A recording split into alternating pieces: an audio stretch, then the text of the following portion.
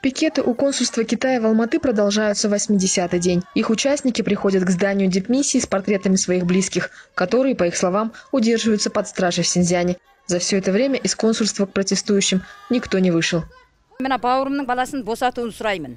Әгер босатпаса мен елшілдіктің алдынан ешқашан кетпеймін арызымды тоқтатпаймын. Қытайдағы бауырларымның бәрінің паспортын бермей жатыр. Неге бермейді? Бауырларыма еркіндік берсін. Өнен кейін бауырларымның паспортын қара тізімдіктен шығарып мына баланы түрмеден босатып ата анасымен өз отаны қазақстанға өткізіп берсін. К участникам пикетов примкнули новые люди, которые переживают за судьбу своих близких в Китае. келудегі себебім қытайда күйеуімді жібермей отыр Э, паспортын бермей отыр қолға. Күйеуіңіздің аты жөні кім неге бермей отыр. Ерболат құсманұлы екі мың он жетінші жылы қазақстан террорист мемлекет деп үйрену лагеріне бір жыл екі ай қамалған қазірге дейін үй қамақта отыр. Енді қазір не себепті жібермей отырғанын білмеймін.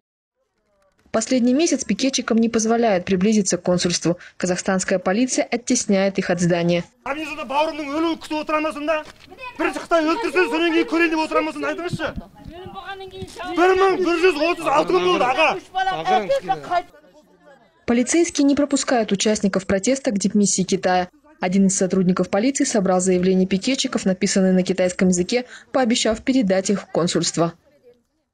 енді сіз біздің көзімізше а, апарып тапсырсаңыз біздің өтініш себебі біз қазір білмейміз біздің хаттарымыз кейін қайда барады а, болады мен сізге өйткені айттым ғой иә мен сізге бір жауабын беремін Байбулат Кунбулатову, который требует освободить своего брата из китайской тюрьмы, собирался отнести письма и документы в консульство, но офис внезапно прекратил прием посетителей.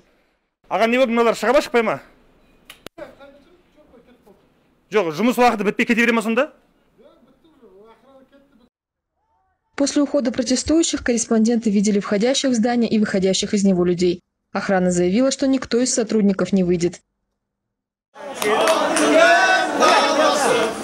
Протестовавшая 60 дней перед консульством Фарида Каблбек добилась возвращения из Китая своего мужа, связь с которым оборвалась 17 лет назад. Информации о других людях, родственники которых выходят на пикеты, нет.